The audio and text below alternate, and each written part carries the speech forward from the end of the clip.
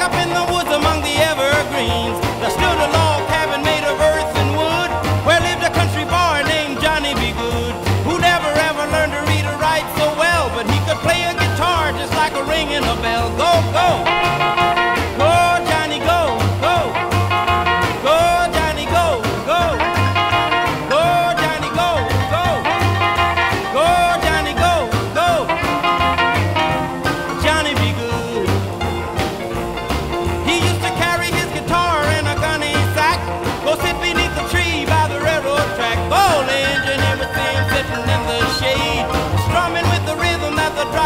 When people passing by, they would stop and say, Oh my, but that little country boy could play. Go